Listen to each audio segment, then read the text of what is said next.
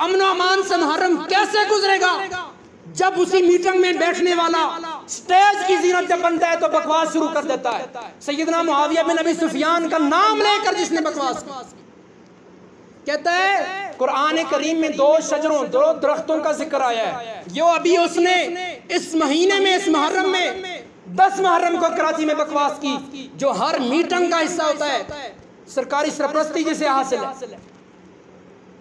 मिरासी नकवी, जो अपने आप को शहनशाह हुसैन नकवी कहता है, वो शहनशाह हुसैन नकवी नहीं, वो कायनात का चूड़ा, वो मिरासी नकवी है, जो मिम्बर रसूल में बैठ कर कहता है कि जो ये शजर तयबा की मिसाल है, इससे मुराद इससे मुराद मोहम्मद रसूलुल्लाह और अली हसन और हुसैन है, और जो शजर खबीसा है, उससे मुराद फिरौन हमान और माविया बिन नबी सुफियान है ये मेरे सहाबा की गुस्ताखी नहीं है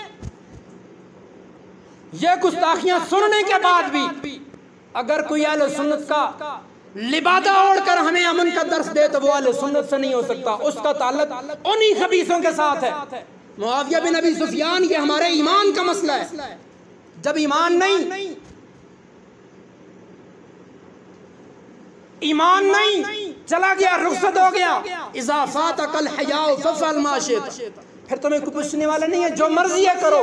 लेकिन जब तक हमारे सीनों में यह ईमान ईमान की चंगारी भड़क रही है इनशाला हम किसी को इस तरह गुस्ताखी करने की और इस तरह भोंकने की इजाज़त नहीं।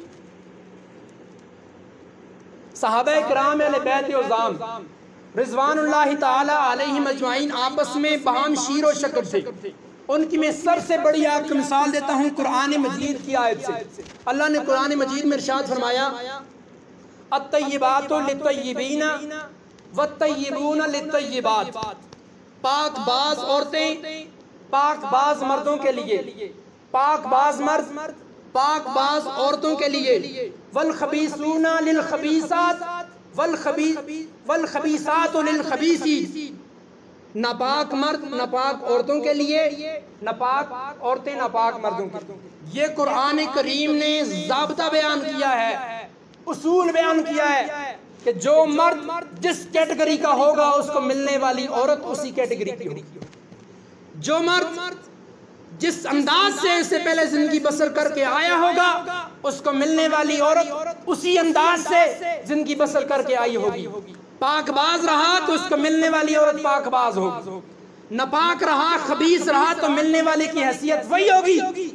इस आयत को सबसे पहले जो इस आयत का मिस्ताक बनने वाले हैं, वो उस वक्त के लोग हैं जिनके सामने कुरान पाक नाजल हुआ। तो जनाब फारूक आज़म रज़ी अल्लाह वो सहाबी रसूल हैं। उनके घर में आने वाली उम्मे कुलसूम, जनाब सैदा फातमत जहरा की बेटी है। अली मुर्तजा की लखते जिगर है। अली की बेटी है, फातिमा की बेटी है, उमर के घर में है। तो आप बताएँ, फारूक आज़म पाक था कि नहीं? बताएँ मुझे, बताएँ खुलकर हज़ार कर। फारूक आज़म पाक था कि नहीं?